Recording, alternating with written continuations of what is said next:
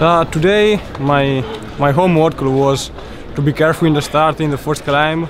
Not too much rider went in a breakaway, and uh, we went really fast. So 25 rider was, was in the breakaway. I recovered the gap and I stayed with them for all uh, all all stage. Uh, Tommy D is a really good guy. So I like to be I like a lot to be him a teammate, and I like so much uh, him boy. You know, him uh, what he think about the bike.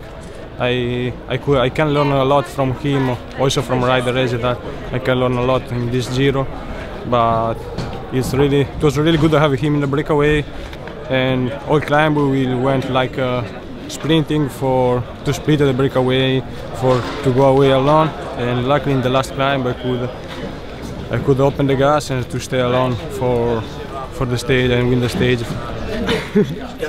Não, que tem.